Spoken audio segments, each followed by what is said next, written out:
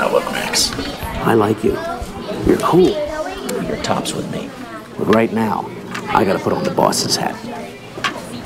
We here at AMS wish to lead by example. And we feel that a gentleman with a noticeable Gunderson's twitch sends the wrong signals, if you know what I mean. Okay, I just, I don't really think that the kids know what a Gunderson's twitch is, you know? I mean, I don't think anybody really knows what a Gunderson's twitch is. How would anybody know? It's like the rarest disease on the planet. It's only, it's only a twitch, man. It's only a fucking twitch. I'm sorry. It's just a holiday. We just feel it would be inappropriate.